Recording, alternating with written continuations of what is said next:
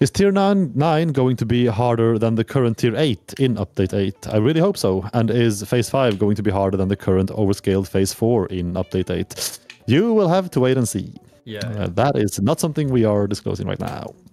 Uh, I Uh, asked. So the previous question, I already forgot what it was because I'm stupid. Uh, is tier nine going to be harder than the current tier eight? Ask that question again next week. Actually, yeah, okay, okay. Yeah. I'll ask you even. Screw it. If you can remember. Hey,